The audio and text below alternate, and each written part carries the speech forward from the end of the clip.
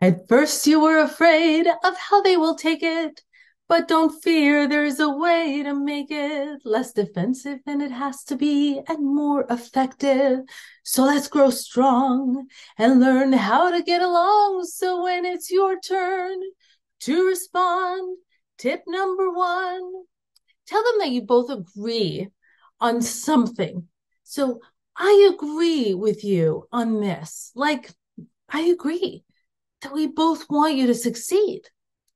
There is always something, no matter how much you have to zoom out, there is always something that you agree. Tip number two learn something from them and let them know. Hey, thank you. After listening to you, I really learned from you that the raise is really important to you. When they teach you something, their walls come down and they will be much less defensive especially because they feel heard and understood.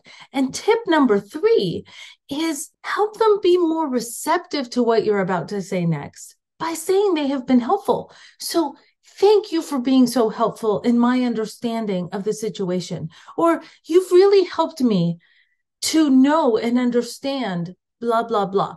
So it's really important to use these phrases because it tears down those walls that come from, frankly, our experiences being so different and our perception of reality being so different. So try that next time you have to respond to someone and you don't want them to get defensive.